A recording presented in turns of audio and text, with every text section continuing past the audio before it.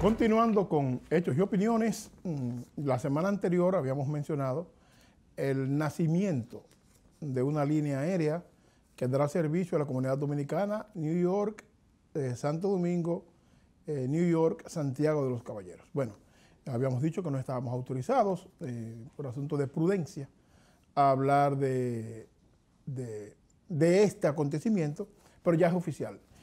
Skycana es la nueva línea aérea con la que nosotros, los mm, dominicanos que vivimos en el estado de Nueva York en particular, eh, y en zonas aledañas, New Jersey, eh, Pensilvania, Connecticut, podremos utilizar a partir del día 2 de diciembre.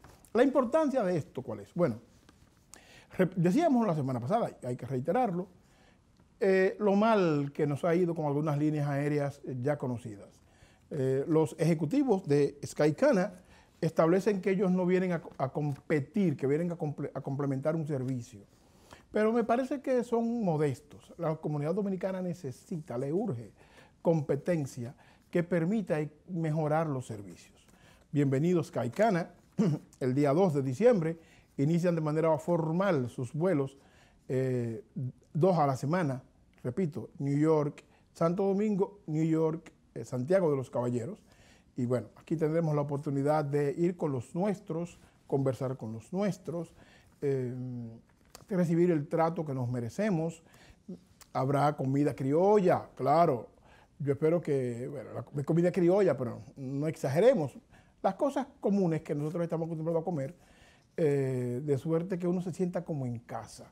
Así que mm, bienvenida a esta línea aérea, bienvenidos sus servicios, bienvenido su personal, bienvenidos los inversionistas la comunidad dominicana se merece un servicio extraordinario para poder hacer esos tres, horas y algo de vuelo eh, plácidamente, tranquilo, y dejar las ansiedades que provoca eh, conversar con alguien que no te entiende, con alguien que no entiende tu comportamiento o que está prejuiciado con él mismo.